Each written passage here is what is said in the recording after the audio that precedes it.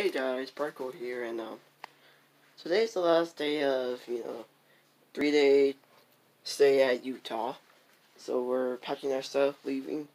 My cousins are also doing that. So, all the things I liked about this, or not really a lot, were the bunk beds, first of all.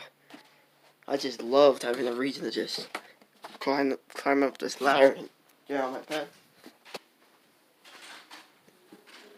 In the game room is miss most.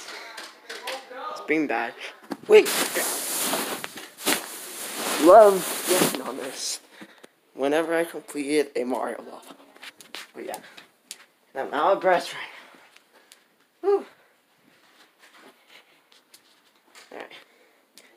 You know, the foosball table. Red, my cousins have that. And this game, you know, also fun.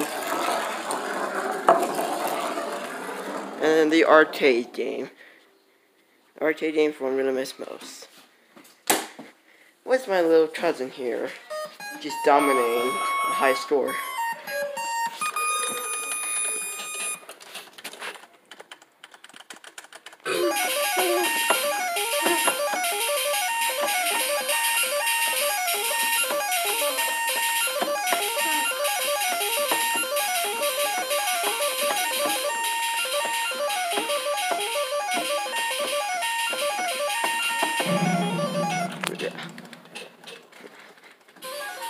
Foosball is awesome.